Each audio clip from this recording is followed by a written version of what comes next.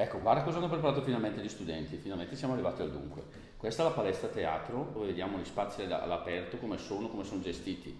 Qui l'anfiteatro esterno col palco che si può aprire gestire anche per eventi della scuola, che non può essere, non può essere accompagnato con le venerdì, ma possono essere anche gli spettacoli che facciamo con i genitori, con altro.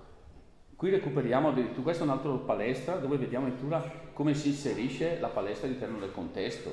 Se andiamo a vedere le aule che abbiamo alla scuola secondaria sono aule tra l'altro pensate per l'iPad e per appoggiare i quaderni nelle sedie come, come la normativa vuole, come spazi come sono accoglienti, il laminato in terra, le travi a vista del tetto, lo sfondato dove vediamo quel divanetto lì, nel, in questo spazio, in quel cubo qui nella parete e gli armadi per, per archiviare tutta la documentazione. Questo è lo spazio esterno della scuola.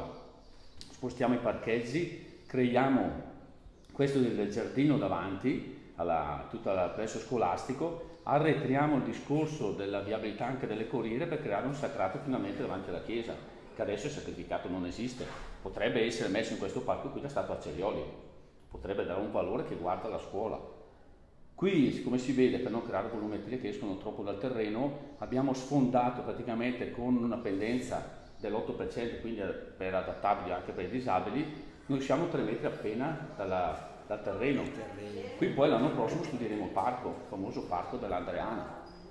E questa è un'altra vista dove si vede effettivamente la scuola, Bellissimo. dove ragiona veramente, diventa uno spazio veramente accogliente e io oserei dire a livello proprio di studente, dove lo studente viene con passione e con voglia. Questi sono lavori fatti a studenti, per cui la creatività degli studenti non è quella professionista, hanno la mentalità professionista, ma come dico sempre sono ancora casti e puri per cui realizzano veramente con passione e con eh, autorevolezza, perché veramente si vede in questi render qui, che questa è una parte dei render che poi si vedranno domani sera, come veramente si riesce a trasformare un luogo. Benissimo. Vi aspettiamo allora venerdì 13 avremo questo appuntamento con il professor Alberto Mezzana e i suoi 25 studenti di architettura per presentare la nostra scuola del futuro insieme alla palestra teatro, al parco, ci sarà anche il progetto della scuola nuova e della casa famiglia. Vi aspettiamo per condividere queste idee.